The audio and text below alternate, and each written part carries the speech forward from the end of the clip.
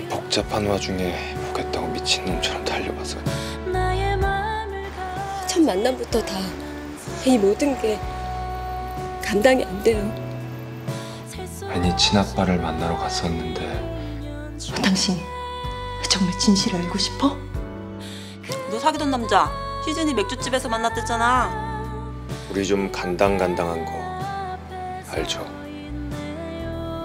그렇게 해서라도 만나고 싶은 당신이 누군지 나한텐 지금 꼭 필요해요. 없으면 안 돼요.